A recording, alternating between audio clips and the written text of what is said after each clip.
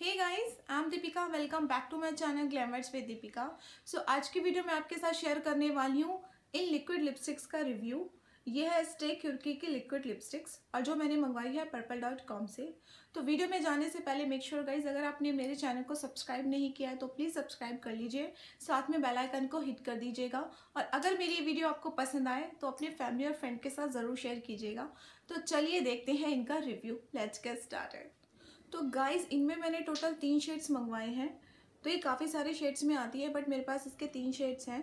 तो मैं बताती हूँ मेरे पास कौन कौन से शेड्स हैं। इसमें एक मेरे पास है कैन आई बोरो अ किस यह है शेड नंबर ट्वेंटी सेकेंड है मेरे पास you are my girl crush nine and third है मेरे पास कैन आई बोरो अ किस शेड नंबर टू तो अब हम बात करते हैं इनकी पैकेजिंग की। तो ये कुछ इस तरीके के कार्डबोर्ड पैकेज में आती है।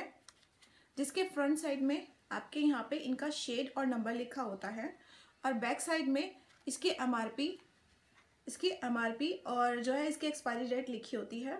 तो मैं इसकी एमआरपी की बात करती हूँ। इनकी प्राइस है four forty nine rupees but purple पे हमेशा डिस्काउंट चलता रहता है। आपको ये थर्टी से लेकर फोर्टी परसेंट डिस्काउंट में इजीली मिल जाएगी। अगर आपको ये परचेज़ करनी है तो मैं इनका परचेज़ लिंक आपको डिस्क्रिप्शन बॉक्स में दे दूँगी।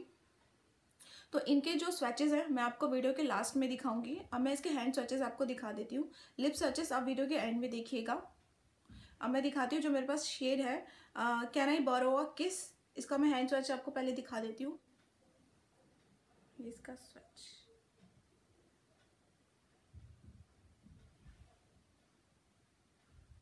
तो सेकंड है मेरे पास your my girl crush nine अब मैं इसका आपको शेड दिखा देती हूँ। कुछ पर्पल शेड में है।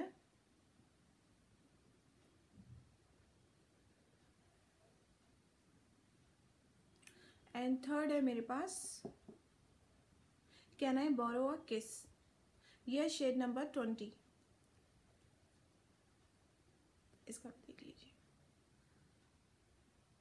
ये थोड़ा सा लाइट शेड है।